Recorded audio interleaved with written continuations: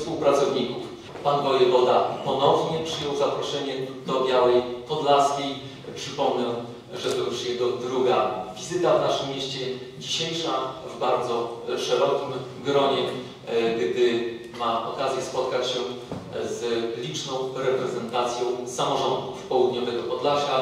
Bardzo miło mi jest w naszym wspólnym gronie przywitać e, Panie i Panów wójtów oraz Waszych współpracowników, przedstawicieli starostw oraz przedstawicieli garnizonu Wojska Polskiego Białej Podlaskiej. Dziękujemy bardzo Pani Wojewodo. Witamy Państwa bardzo serdecznie. E, Dziękujemy e, Panu Prezydentowi Litwiniukowi za e, gościnę. Pretekst też nie byle jaki. Jak Państwo wiecie, w ostatnim czasie w Lubelskim Urzędzie Wojewódzkim często goszczą ministrowie informujący o kolejnych programach rządowych, które albo są odświeżane, albo są uruchamiane e, od początku właśnie po to, aby wychodzić naprzeciw e, potrzebom samorządów. Wszystko to po to, aby e, przekazać bardzo jasny komunikat. Samorząd jest merytorycznym, ważnym partnerem, partnerem z podkreśleniem tego słowa do rozmowy, do dyskusji, do wypracowywania różnego rodzaju instrumentów e, wsparcia dla rządu Rzeczypospolitej.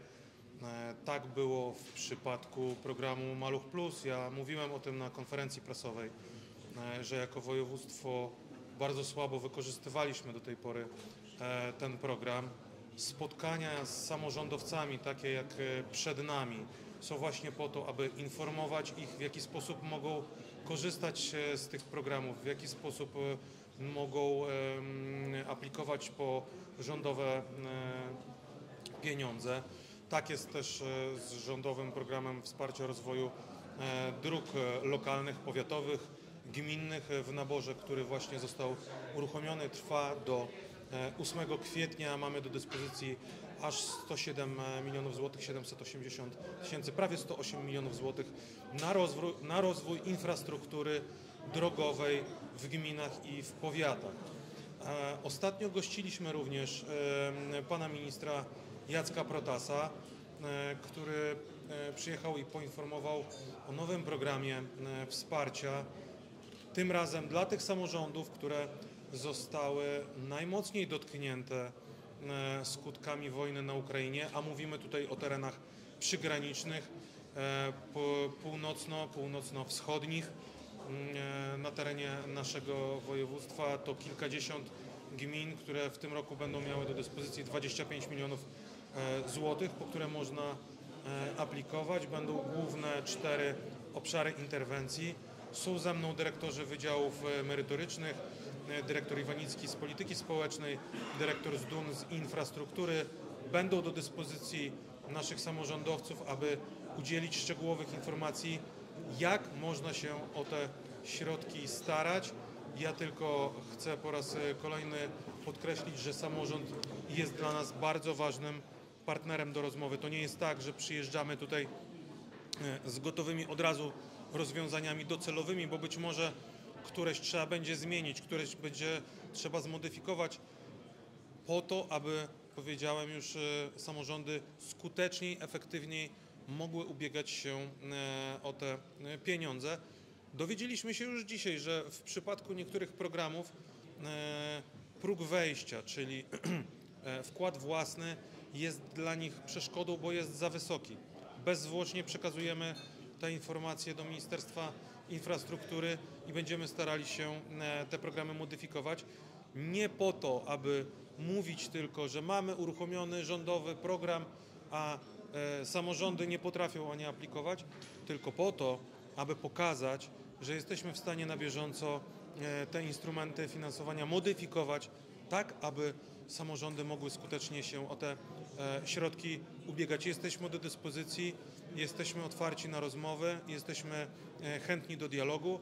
E, Chcemy, aby samorządy odbudowywały swoją pozycję, swoją rolę, aby ugruntowywały swoją autonomię, ponieważ to one najlepiej wiedzą, jakie są potrzeby lokalne, jakie są deficyty, w których obszarach, czy to, e, e, czy to infrastruktura, czy infrastruktura bardziej w obszarze polityki społecznej, mówimy o żłobkach, o domach seniora, e, czy inne obszary jak edukacja są niezbędne do wsparcia. Chcielibyśmy się dowiedzieć, ja również jako wojewoda lubelski, czyli twarz rządu w terenie, chciałbym te informacje wiedzieć po to, aby móc je rzetelnie przekazać do Warszawy. Szanowni Państwo, bardzo dziękujemy panu wojewodzie Krzysztofowi Komorskiemu i jego współpracownikom e, za to tak silnie odczuwane przez samorządy północnej Lubelszczyzny, południowego Podlasia wsparcie. Chcę z dumą i wdzięcznością podkreślić, że to już jest druga wizyta pana wojewody w Białej Podlaskiej. E, Dzisiaj już mieliśmy okazję spotkać się z kilkudziesięcioma przedstawicielami gmin, wójtami, ich współpracownikami oraz e, przedstawicielami starostw, e, gdzie rozmawialiśmy, jak pan wojewoda przed chwilą podkreślił, o potrzebach, ale właśnie w ten bardzo partnerski i przedstawiający głębokie zrozumienie ze strony pana wojewody sposób. Zrozumienie dla potrzeb naszych lokalnych, oddolnych społeczności samorządów południowego Podlasia. E, Jako prezydent Białej Podlaskiej e, chcę wyrazić tą głęboką satysfakcję, że nasza dobra współpraca przynosi już wymierne efekty we wspomnianym e, programie Maluch Plus, o którym dzisiaj pan wojewoda i przedstawiciele będą za chwilę mówili podczas spotkania. E, Jesteśmy przygotowani do zawarcia umowy, a to jest kilkumilionowe wsparcie w Białej Podlaskiej. W tej chwili mamy 210 e, miejsc w przedszkolach, w żłobkach samorządowych i e, aż o 1 trzecią, o 30% zwiększymy tę liczbę. Dzięki e, temu kilkumilionowemu dofinansowaniu powstanie nowy trzyoddziałowy żłobek z kolejnymi 75 miejscami dla naszych najmłodszych milusińskich. A wspomniane przez pana wojewodę programy jak e, nabór uzupełniający w programie rozwoju dróg gminnych i powiatowych. To także nasza zaplanowana do złożenia e, w najbliższym czasie aplikacja, tym razem na e, budowę drugiego etapu drogi powiatowej w Białej Podlaskiej, ulicy Podleśnej. Jeszcze raz bardzo dziękujemy Pani Wojewodo. Mówił Pan, że będzie to na, w ramach czterech obszarów. O jakie wsparcie tu chodzi? Za chwilę dokładnie może o tym, e, na ten temat wypowiedzieć się dyrektor e, z DUN, dlatego że my też w przyszłym tygodniu będziemy jeszcze odbywać spotkanie e, ze wszystkimi samorządowcami, którzy będą objęci tym wsparciem i nie zamykamy się tylko oczywiście na tą oświatę, infrastrukturę. Dwa jeszcze pozostałe to chyba transport i turystyka. E, Więc to są punkty wyjścia do rozmowy. Z tego co uzyskałem informację do końca marca od strony formalnej ma być e, już e, zatwierdzone pod kątem wysokości finansowania z perspektywą na znaczne zwiększenie. To jest program na lata 2024-2030 i tak jak powiedziałem, zresztą wyszło to już na spotkaniu teraz z samorządowcami. Za chwilę mamy takie większe, bardziej e, oficjalne. E, Wiemy o terenach, e, gdzie bardzo ucierpiała lokalna infrastruktura. Mówimy o drogach lokalnych w związku z transportem ciężkiego sprzętu. E, Ale to tylko początek rozmowy tak naprawdę, bo będziemy teraz e, dowiadywać się, e, gdzie tego wsparcia trzeba więcej, bo to nie, to, to, to nie są tylko skutki humanitarne czy geopolityczne. Nie możemy zapominać o interwencjach w obszarach społeczno-gospodarczych.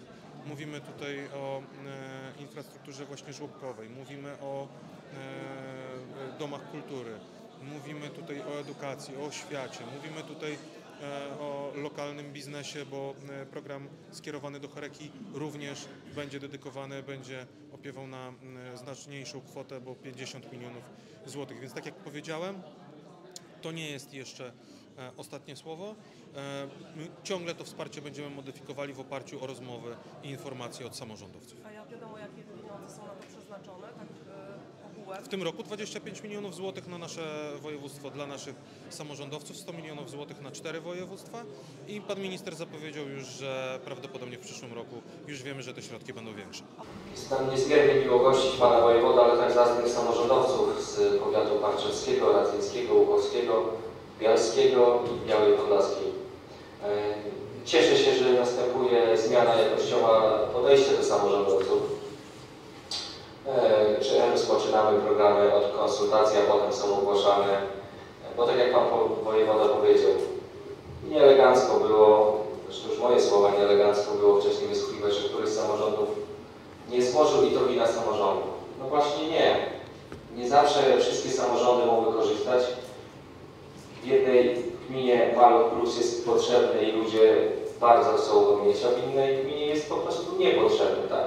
Stąd też dzisiaj mamy takie spotkanie.